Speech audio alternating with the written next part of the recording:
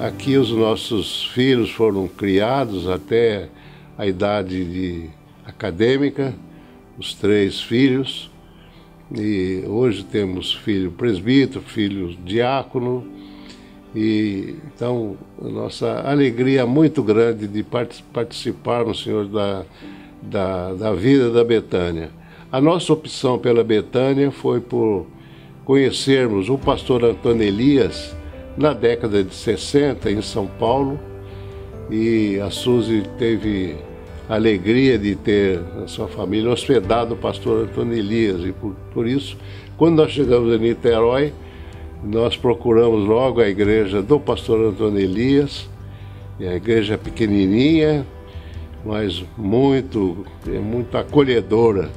E assim nós estamos até hoje alegres, contribuindo e congregando aqui na Betânia. E foi uma excelente escolha. Tivemos oportunidade de trabalho quando a igreja era ainda pequena, trabalhamos com crianças, também na área da música, depois mais tarde com mulheres de Betânia. E continuamos assim felizes é, querendo morar em Niterói, poderíamos morar em outro lugar, mas escolhemos ficar aqui por causa da igreja. É, é uma, uma alegria a gente estar também comemorando este ano o nosso 50 anos, a nossa Nosso boda jubileu. de ouro no final do ano. Eu sou o Brizola. Eu sou a Suzy. Nós, Nós também, também fazemos, fazemos, parte, parte da, história da, história da, Betânia. da Betânia. Nós viemos para São Francisco, nos mudamos para cá em 1969. A nossa filha é, mais nova, Regina, estava com um ano. A Ângela estava com dois anos e meio. E a Elisa, cinco anos.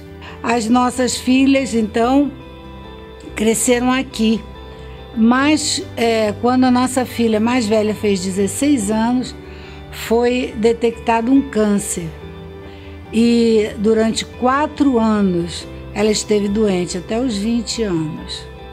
Houve um momento então que nós sentimos, num domingo pela manhã, aqui na igreja, em que o pastor Caio Fábio que era o pastor da nossa igreja, da Betânia, é, falou num trecho da Bíblia e eu senti no meu coração: não peça mais a cura da sua filha.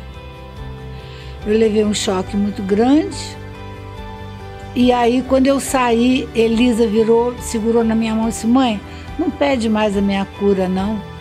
Eu senti, o Senhor falou comigo para não pedir mais a minha cura partir daquele momento, entreguei completamente a minha filha e nas mãos do Senhor. Foi muito difícil a perda da nossa filha. O sofrimento, eu não sei se o que foi maior, eu creio que foi maior ver aquela menina tão nova, tão inteligente, tão crente, sofrendo tanto. E quando ela se foi, a, parece que tudo desmoronou e a gente não tinha, eu, por exemplo, não sentia muito, muita força para continuar. Mas o Senhor me mostrou. Hoje eu tenho alegria. Hoje eu estou pronta para evangelizar. Hoje eu estou pronta para testemunhar no meu trabalho. Hoje eu estou pronta para o trabalho do Senhor. Graças a ao grande amor de Jesus que colocou essa igreja para nos abraçar e nos sustentar.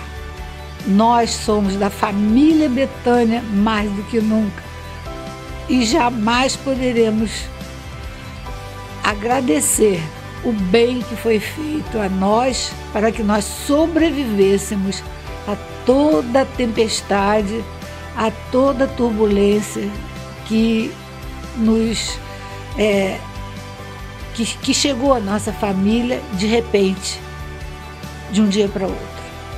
Eu sou Isá. Eu sou Lúcia. Nós, fazemos, parte da, história da. Betânia.